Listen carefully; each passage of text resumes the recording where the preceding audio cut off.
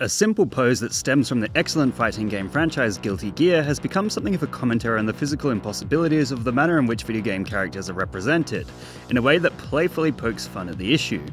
Obviously, I won't be showing any of the not safe for work iterations in this video, but because the original comes from a video game, I can definitely show you that.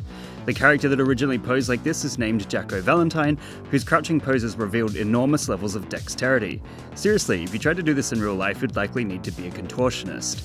As a result, the name of this challenge is also known as the Jack-O Crouch or just Jack-O Challenge. So you're probably asking, why on earth did all of this lead to the recent explosion of millions of images online wherein characters are copying the pose? Well, that seems to be attributed to the popularity of the newest Guilty Gear DLC, which includes Jack-O Valentine as a playable character, and as a result, Twitter user Lulu Boo seems to have been one of the first to repost it as a GIF with the caption, She is so normal, on the 15th of August this year. It's worth noting LuluBoo has attracted a fair bit of drama online and has since deleted her account, so if you want to view original tweets, you'd need to use the Wayback Machine. On the same day, Twitter user Vitreous Glassy created what is believed to be the first adaptation of the Jack-O pose, creating a less sexualized version of the backbreaking crouch. This opened the floodgates to what became a redraw edit challenge, culminating in potentially millions of creations that have spilled out from the Guilty Gear fandom and out into almost every area of social media.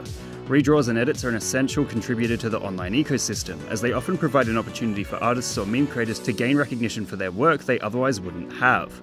But it is clear that the redraw they've done here has intentionally played to the weirdness of the Jack-O pose, considering there are very few real life iterations of this pose and 99% of the content we see online related to it is rendered in two dimensions.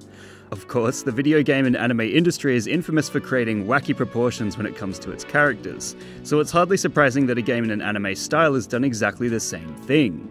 Essentially, the Jack-O pose is a great way to satirize the weird and inefficient poses rendered characters are put in just for fan service, even if it results in often more fan service. What meme would you guys like me to give a lesson in next? Let me know in the comments below. And remember, like and subscribe!